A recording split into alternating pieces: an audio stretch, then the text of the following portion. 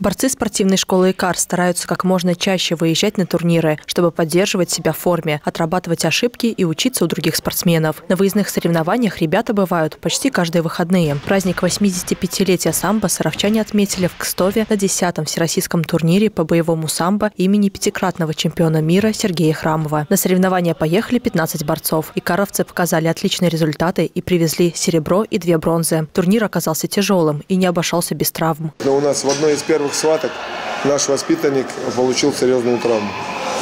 Э, ну, сами понимаете, только-только начало соревнований, у нас еще почти никто не выступал, и сразу такая ну, тяжелая травма. Боевое самбо, это оно несколько отличается от спортивного. Там э, применяется и ударная техника, и удушающие приемы. Но травму он получил в результате, ну, э, так сказать, спортивного действия, в результате броска. Ну, бывает такое, у нас вид спорта такой серьезные. На турнире в Кстове были представители со всей России. Тюмени, Ростова, Санкт-Петербурга, Самары и других городов страны и Нижегородской области. Максим Качев провел четыре схватки и занял второе место. Успехи делаю, наверное, в ударной технике. В борьбе не так уж и сильно получается. Ну, сейчас мы этим занимаемся, подтягиваем партер, броски.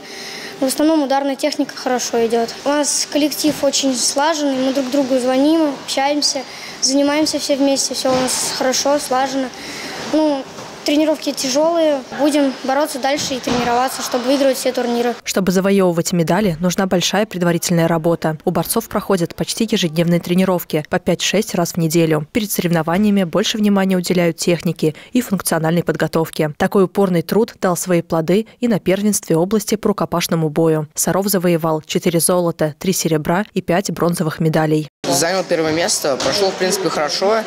Ну, были, конечно, сложные противники, но опыт сыграл свою роль и ну, умение, конечно. Ну, поддерживая себя тем главным лозунгом, что против тебя выходит такой же человек, не робот, то есть он умеет все то же самое, что и ты, и как бы он не какое-то сверхъестественное существо, и, в принципе, каждого человека можно когда-либо победить. То все, в принципе, в спорте плюс-минус равны. Глеб Сухоруков на первенстве области занял третье место. На турнире Храмова спортсмен выиграл первую встречу, но вторую проиграл и получил травму. Первый бой прошел нормально, второй прошел уже хуже. Все-таки много ошибок и всех их нужно исправлять. Соперники, ну, тоже не, не прям уж легкие, но и тяжелых особо не было.